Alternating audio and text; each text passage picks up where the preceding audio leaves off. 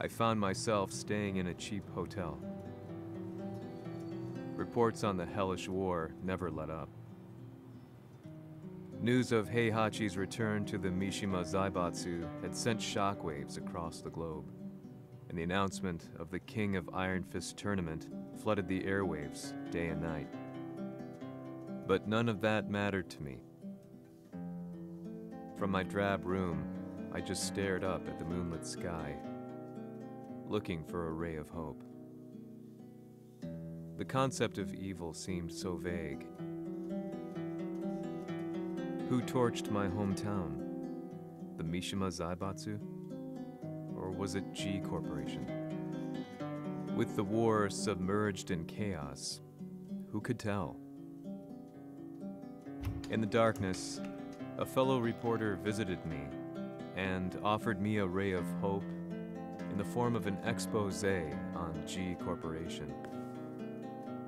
G Corp were at war with the Mishima Zaibatsu, and it appeared that they had the public on their side. People believed that the Zaibatsu had started the war, so it was only natural that they saw G Corp as their saviors. However, my reporter friend came into my hotel barely able to contain his excitement, presented me with the picture. It revealed G Corp's true colors, which conflicted with their public image. The picture shed light on the incident that had occurred only a few months earlier.